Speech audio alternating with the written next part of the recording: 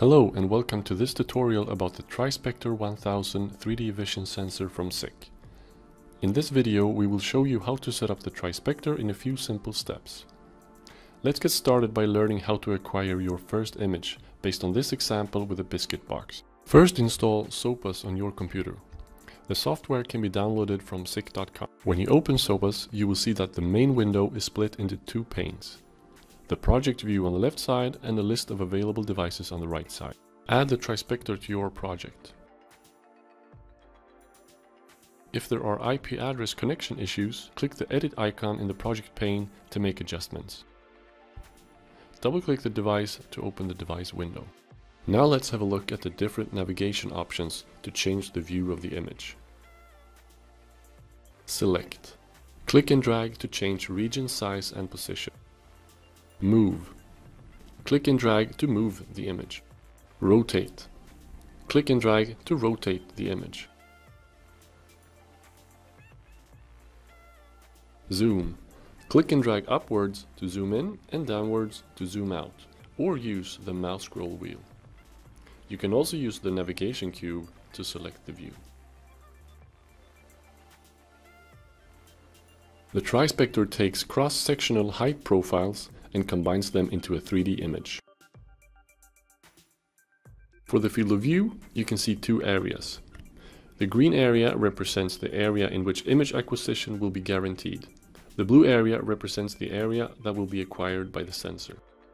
The maximum length of an image is 2500 profiles. The bottom width of the selected field of view is never wider than the guaranteed field of view. Adjust the field of view to fit your object.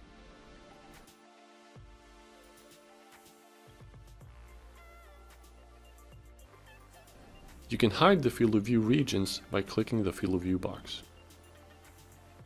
In the motion section, you can choose between two different profile trigger options free running, where you can enter the object speed, and set the profile distance, which is the distance between two consecutive 3D profiles.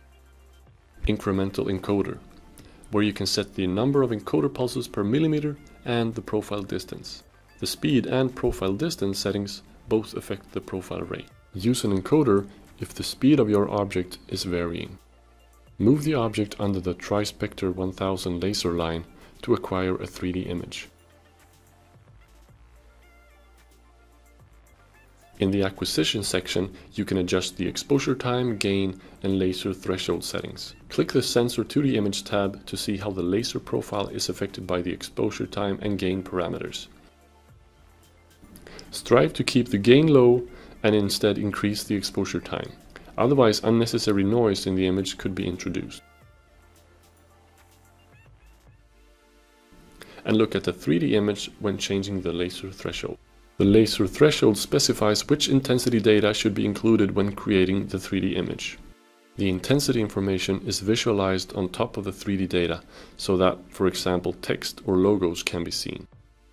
The image trigger section is used to determine when images are to be acquired. The default setting is none, where the Trispector starts to acquire a new image as soon as the previous one is finished. Or you can select Trigger on Input 3, where the Trispector is triggered externally by for instance a photoelectric sensor or a PLC. When using this setting, the image acquisition can be delayed by a specified time or distance from the signal input. Now the settings are complete and an accurate 3D image has been acquired. The Trispector 1000 is a compact, rugged, easy to set up 3D vision sensor.